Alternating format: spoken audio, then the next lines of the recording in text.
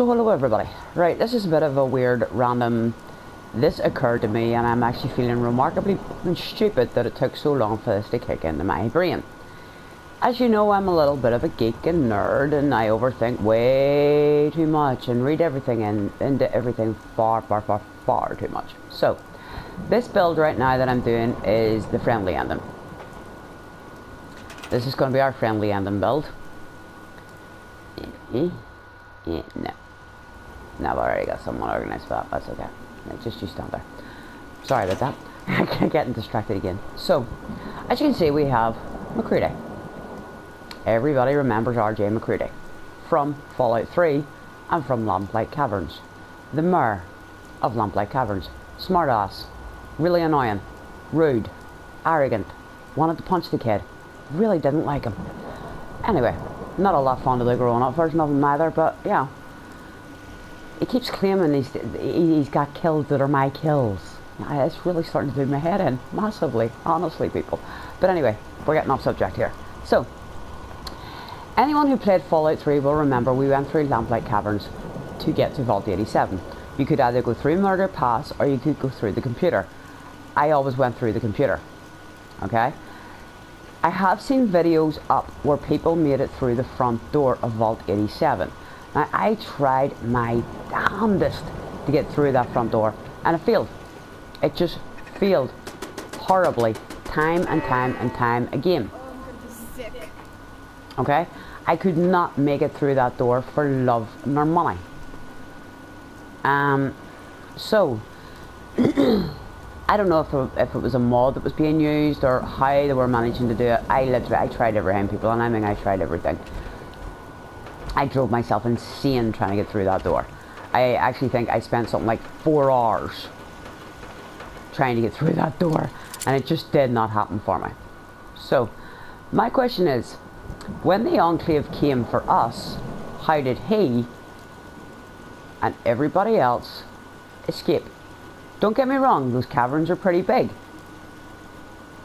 You know, I remember the Great Chamber. I remember getting lost in the Great Chamber over and over again. But the Enclave never did anything in DC in little numbers. They always came in with force, and I mean major, major, major force. So high. Tis it humanly possible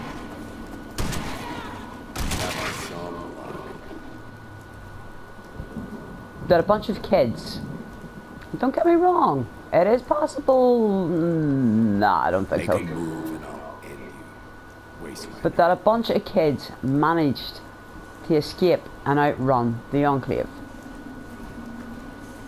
And they were not captured. Not one of them. None of them. Every last one of them got free. Including RJ back there. so, what I'm wondering is, was there a ball drop? Did Bethesda literally drop the ball on that entire story? I've already said that I'm finding way too many holes, and people keep going on about oh it's canon, oh it's this, oh it's that, oh it's that. Uh, I'm I'm arguing massively with, with it, and I'll, a lot of people have actually given me a lot of stick over it, and well, uh, that's me. You know what I mean? Give me stick, I don't care. But explain this one to me, people. How was he not captured by the Enclave? Now, his DNA is not pure human, but that doesn't mean to say the Enclave aren't going to take them. All of those kids. You know what I mean? Uh, the, the, the Enclave would be very, very interested in new, new specimens along those lines. How were they not all killed, even? The Enclave has never had a problem with shooting children. You know, so it's a bit of a weird one there. So I want you to drop a comment saying, well, possibly this is what happened.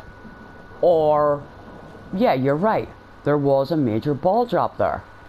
How come this story was just glossed over as if to say, oh yeah, the Enclave came storming through Lamplight, um, went in for you and the GECK and ignored a bunch of kids.